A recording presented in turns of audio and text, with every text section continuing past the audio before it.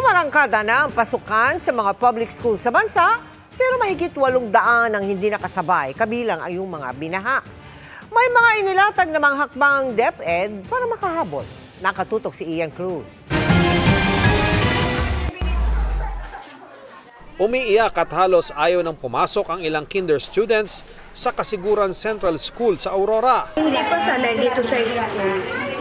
Kaya, kaya umiiyak siya. Kaya naiyak siya. Hanggang kailan po kayo na magbabantay? Maka isang linggo gano'n. Kapag, kapag okay na siya. Pagka okay na siya. Pero sa maraming paaralan, excited ang mga estudyante. Tulad sa Mountain Province, Kawayan Isabela, Cabanatuan Nueva Ecija at sa Cotabato. Kahit pa nga sa mga paaralang inulan pero wala pang class suspension tulad sa Lipa, Batangas. Pero sa ilang bayan at lungsod sa Laguna, sinuspindi ang klase dahil sa lakas ng ulan. Kabilang ang Binyan kung saan sana mangunguna sa class opening si Education Secretary Sani Angara. Magit daang paaralan sa buong bansa ang hindi makakasabay sa pasukan habang may ibang nagpapatupad ng blended learning.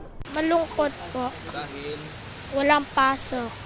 Maaring magpatupad ng Saturday classes. Kailangan pagka na-miss yung weekday, sa weekend magme-makeup. Oh. 98% naman ng mga paaralan ang nakapagbukas, kabilang sa Carmona National High School.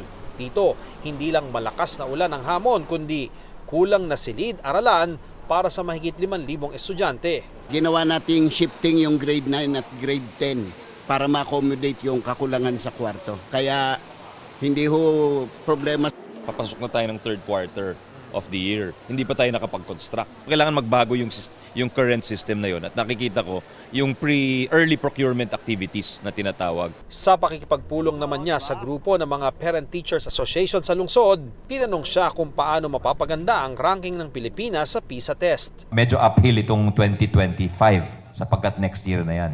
Medyo don't expect miracles overnight, di ba? Pero after 2025, ang sunod na exam, 2029. Paghandaan natin pareho yan. Di tulad sa maraming paaralan, sapat ang classroom ng Muntinlupa National High School sa loob ng Bilibid, kaya isa lang ang shift ng klase. Ilang taon ang mababa ang enrollment doon dahil hinigpitan ang pagpasok ng mga pampublikong sasakyan doon. Nakipagpulong din ang kalihim sa Schools Division Office ng Rizal bago dumiretso sa Casimiro Henares Memorial National High School.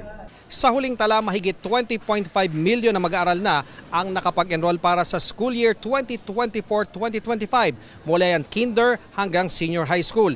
Pwede pa raw madagdagan ang nasabing bilang dahil pwede pa rin mag-enroll kahit simula na ng klase. Para sa GMA Integrated News, Ian Cruz nakatutok. 24 oras.